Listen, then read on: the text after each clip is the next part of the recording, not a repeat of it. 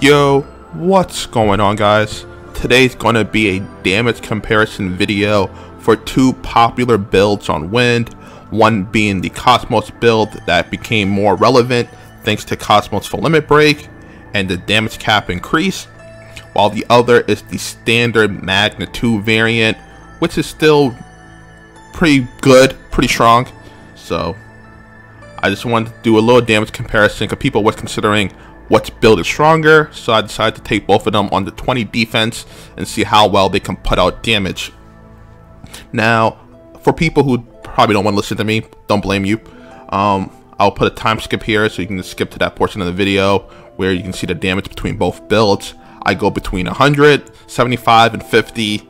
Any lower than 50, I didn't see any point because the Cosmos gun grid was just going to pop out a ton of damage. So I just kept it at 50. Um, if you guys in the future want to see even lower variables like 25 and 1% health, just tell me and I'll try to keep that in mind. But I just felt it was not that important as, you know, it's pretty obvious. But just tell me how you guys feel about it and then I will make sure to adjust that for future videos. As I mentioned, future videos, that means I will be doing this for other LEs. Not only Wind, but the other five LEs. I will eventually be getting around to this. I'm not too sure if I want to do Primal versus Magna or if I want to do Primal versus Primals yet. I have not thought about that. I may even do community suggestions. I don't know. Um, this is something I'm trying for the first time and maybe something I do in the future. Um, this, I, just don't count on it for everything. Keep in mind I have to farm grids. I'm pretty sure that I will be end up getting the light cosmos grid, which I don't have access to right now. Um, to give you guys a little mention of it, a little look at it. Don't have it, so uh, I know some people may be asking for it. Just know that some builds I just cannot do at the current time of making this video, are, you know, in the future. It depends on how hard I want to farm Magna gr grids again. I was actually doing it on my live stream on Twitch. If you guys want to come uh, chill there while I do refarm Magna grids again and skill level 20 of them again. So this should be fun. Said nobody, because who wants to refarm Magna grids? That also means I have to refarm, well, not refarm, but I will have to farm the Bunko grids as well. That's going to be fun. It's a lot of farming I have to do again. You know, with having whale grids, uh, you kind of skip out on all of that, but because I want to do videos on it, I can't really skip out on it, huh? Now, can I? Now, enough of that rambling. Let's go look at the actual grids themselves. Now, we'll be looking at the first grid here, which is the Tiamat 2 grid, three harps, three guns. Now, what you can't opt in is to drop a gun for the Quill, the Qinglong Spear, I believe. It's the Celestial Spear damage cap variant. The reason I did not put it in here is that it's not the optimal damage. Because I'm testing on 20 defense, it's a lot harder to cap on 20 defense. Therefore, I decided to omit it just so you can see the maximum damage output. If you was to run this weapon in your grid, you do lose base damage.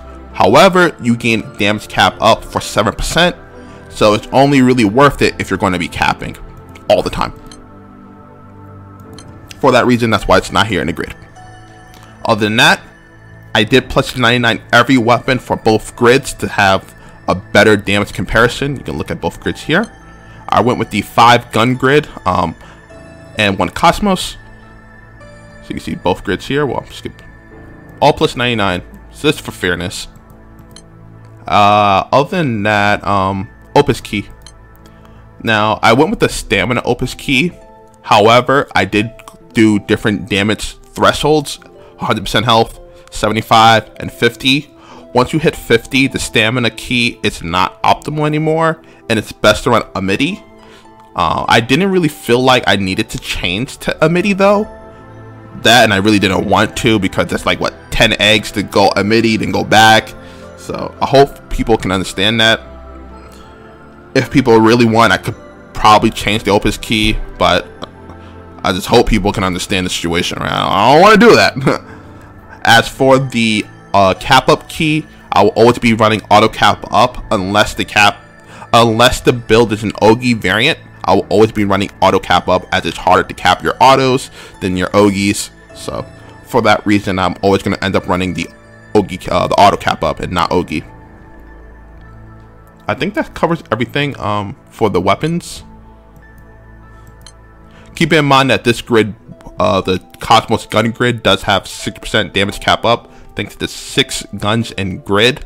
So this grid does have the higher damage ceiling. You're going to notice that a lot more when I use Grimnir buff. I actually don't use Grimnir buff to the very end. So you can see the damage cap actually taking effect massively on Grimnir's autos. Uh, I think that's about it for the weapons. Now, for the summons, I had to bring Demon Bream as a way to lower health for Wind and as a way to lower health for um, both grids. So because I brought Demon Bream for both grids, it's a little bit unfairness because generally on the Tiamat Harp grid, you do not use Demon Bream. You would most likely end up using something like Shiva or Bahamut for stats so in that scenario, you do lose a summon slot if you're running the Cosmos gun grid as you need it as a way to start pushing out more damage because your damage at full health is really not that great. So just keep that in mind that the one big major fall, uh, major flaw with this grid is that you have to play at lower health. You cannot play at full health as it's kind of hard to cap unless the boss has low defense like 13, like Magna 2 level and below, then you can cap. But if it's anything higher than Magna 2, you're going to have a hard time capping. So that's why you have to bring Demon Bream if you want to hit higher thresholds of damage. But, and that's even worse if you don't have Monkey and Nio. Then you definitely need to uh, bring Demon Bream because you will never cap really. Yes, Monkey and Nio are that important.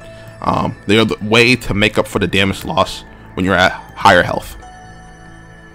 Now, both grids will be running Primarchs. The reason I'll be running Primarchs in every video, it's because it's the best way to show your maximum damage output. The good thing about Primarchs is that they do increase your damage cap. However, if you're not hitting the damage cap, you're really not getting any benefits out of the Primarch. So, that's why the Primarchs are here to see if you're actually even hitting the cap in the first place. Luckily, Wind is one of those LEs where like anywhere like 15 and below, they cap relatively easy with the proper characters. So I have to do 20 defense with this grid because honestly, they're going to be capping the 15 anyway. And I think that covers everything about the summons. The Arcarum summons will be fully done for each LE, so when I do test them, you see what the maximum damage output is with the fully done Arcarum summon, but I don't think that's something I really have to mention too much. And I think that covers everything. So with that, we can get on to the actual testing. If you have any questions, just leave them in the comments.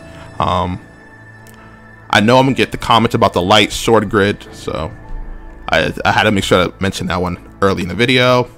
But thank you guys for watching. I won't really commentate over this portion of the video, so just make sure to leave comments in the video. Till next time though, uh, thank you guys for watching. Goodbye.